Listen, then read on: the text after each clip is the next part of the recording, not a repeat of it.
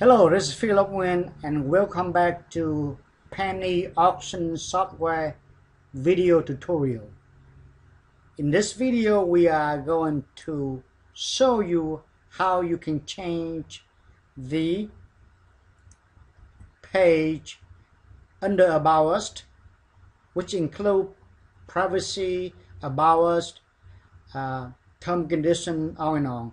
Now remember, this page can be add or remove using the tool in the backend and I will show you how. Uh, same thing with this and same thing with this right here.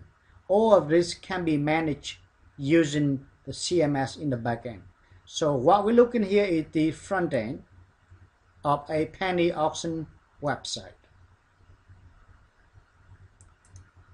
Now what you have seen here is the back end of a penny auction website. As you can see, if you are looking for the uh, about us and term condition page that we spoke earlier, you cannot find it here. Even though you click on under article, this is where you're supposed to find everything about uh, uh, uh, uh all the pages you can manage like I show you in the front end, but it's not shown up here. The reason is because those pages happen to create on the earlier date. The default date is shown on the current date, which is 611 to 611, of which those articles were created earlier. So what I have to do, change the date. Maybe I go back all the way to uh, even a year here.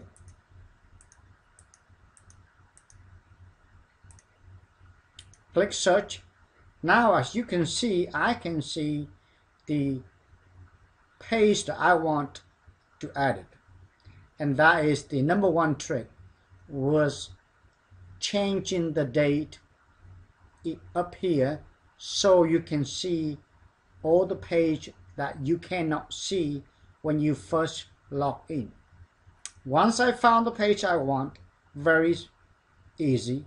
Under uh, uh, privacy policy, I click on little icon under the update right here.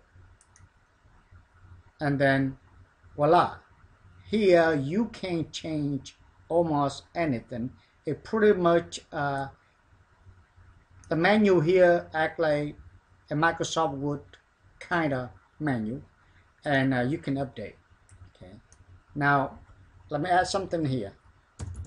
Please do not delete this page if you are a demo user.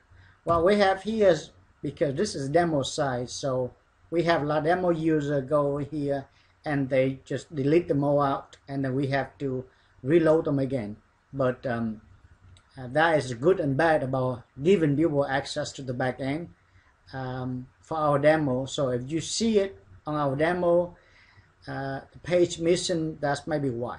But anyway, this is the point here is showing you how to update the page in the back end.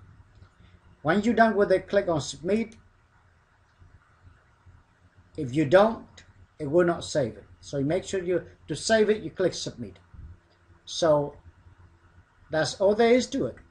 Okay. Now, once again, under this uh, uh, uh, menu, let me go to the front here.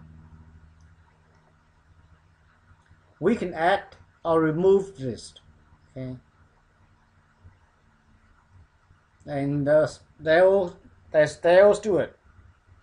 Thank you for watching this video and uh, I will see you soon.